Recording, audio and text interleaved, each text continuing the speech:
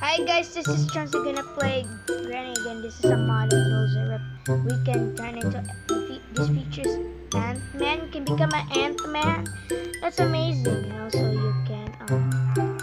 spawn items. You can teleport randomly. Oh, we teleport to the dude. We just teleport to the help sign that we check out that video. The video with like the help sign explanation that is the story of whatever that monster oh called. That's in the description. You should check it out. That okay. This is the features. That's it, guys. Thanks for watching. Bye bye. Next time, jumps will be trouble.